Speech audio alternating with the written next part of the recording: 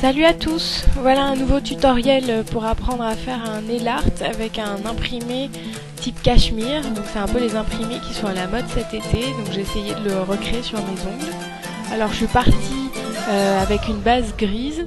Donc ici c'est un, vernis ici et on voit très bien le pinceau.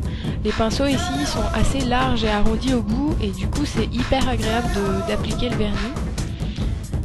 Donc j'ai mis deux couches euh, de ce vernis, j'ai fait exprès de choisir une couleur un peu euh, neutre ou euh, terne, même si c'est un, joli gris souris, pour que l'imprimé après par-dessus ressorte mieux. Ici je me suis un peu trompée, donc avec un bâton en buis, quand on, se trompe on peut un peu corriger le vernis et pas avoir après, une fois qu'il est sec, à retirer au dissolvant. c'est hyper pénible de faire ça. Donc voilà, une fois que la base grise est sèche, avec un pinceau, euh, donc avec un pinceau théoriquement fin, donc là mon pinceau est complètement pourri euh, parce que je sais pas quoi, mais d'ailleurs je me suis galéré à faire euh, avec un pinceau à deux pics, c'est horrible. Donc avec un pinceau le plus fin possible, plus il est fin, plus ce sera simple, on va dessiner un espèce de motif que je qualifierais de papier peint sur le fond gris.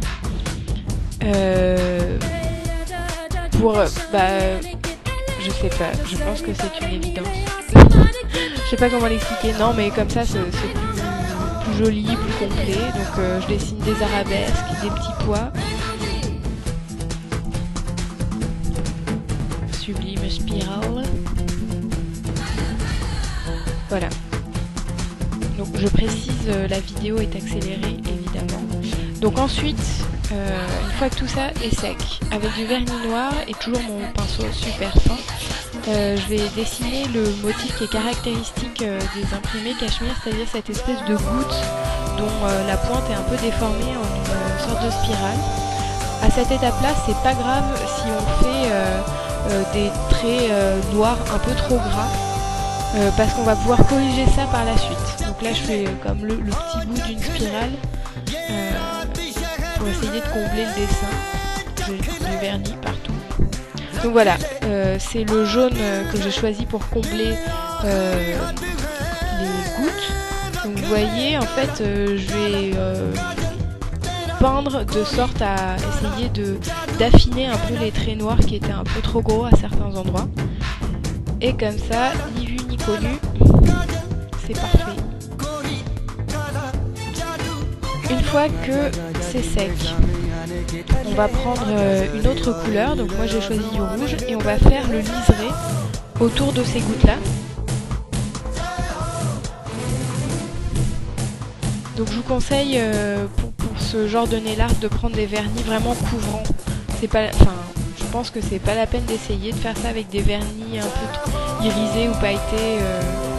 Enfin, peut-être que ça peut être joli. Hein. Donc voilà, j'ai fait tous mes liserés.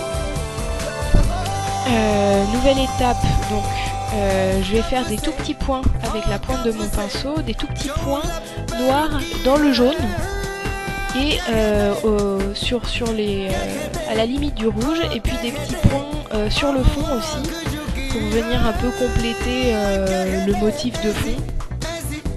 Motif de fond d'ailleurs qui est complètement masqué. Mais bon. Et donc voilà, ensuite je rajoute euh, une toute petite touche de gris, le gris qui m'a servi de base en fait, et ça va donner euh, l'impression que j'ai dessiné qu'un tout petit liseré jaune, euh, ce que j'aurais probablement pas pu faire. Voilà, j'espère que ce motif vous plaît et à bientôt pour une nouvelle vidéo.